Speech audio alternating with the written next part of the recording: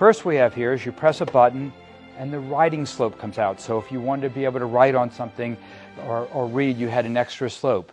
Then on the sides, you press one of the buttons and a secret drawer comes out. You press another button on the inside and secret drawers come out on the end. You press a button on the side, the lion heads come out.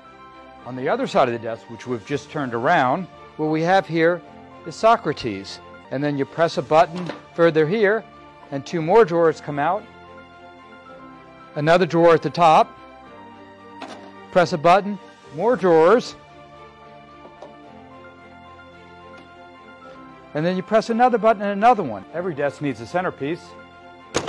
And here's the centerpiece for this one, where you open it up, the drawers come out. Of course, these are secret that lock.